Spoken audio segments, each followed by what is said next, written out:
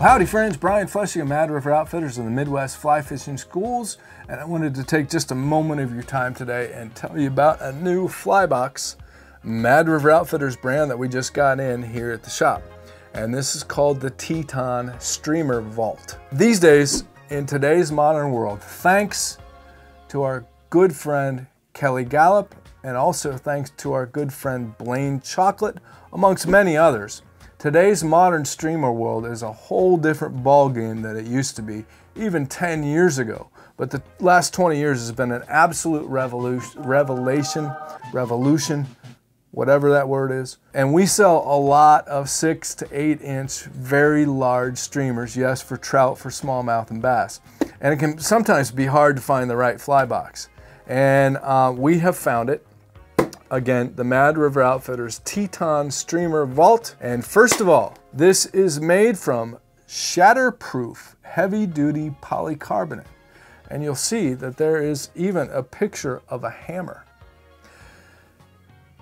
I'm probably not going to recommend taking a hammer and hitting this fly box, just to be clear. But I think they're, what they're trying to tell you is, I guess you could hit it with a hammer if you got mad at it or something. I, I don't know why you'd hit it with it. Apparently, it's supposed to be shatterproof, uh, virtually break-proof. It has a very good hinge on it, okay? A lot better than most of your basic plastic boxes. And then it has a high density foam, and this, uh, the foam, you don't have the individual little slits. The foam is slit all the way down. So it's perfect for your larger streamers and especially your articulated the Kelly Galloup style articulated streamers where you've got two hooks, maybe even three hooks, so you can line them all up and make sure you get all those hooks in the slots there so that those hooks aren't flailing around and, and getting tangled on other flies or especially when you reach in to grab a fly, you wind up stabbing your fingers. So perfect high density foam uh, in the with the longitudinal slits there down the box.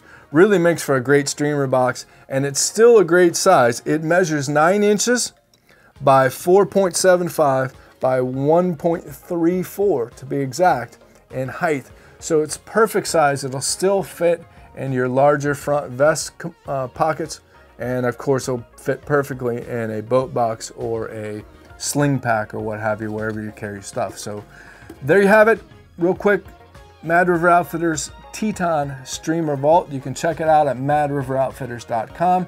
As always, we appreciate you watching and be sure to subscribe because we have tons more useless information coming your way.